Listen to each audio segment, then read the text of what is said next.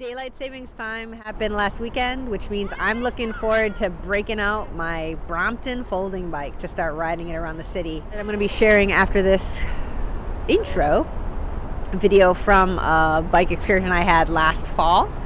So check that out. I'm going to be unfolding, riding, and then refolding up the bike. And if you'd like to jump to any part of that, you can look and click on the timestamps in the description below Otherwise, I'll see you on the other end of the video.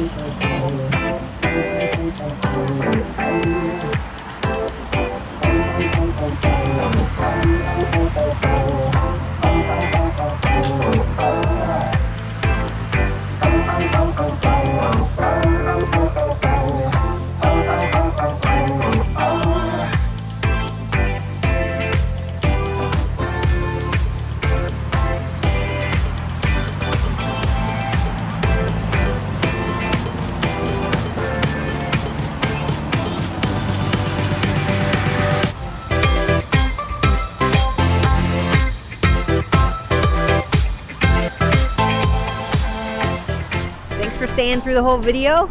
Please share in the comments below what you're looking forward to doing outside this spring. And if you have any questions about Bromptons or riding around in the city, let me know. I'd be happy to talk to you about it in the comments below. Please like and subscribe, and I'll see you again in another video. Peace.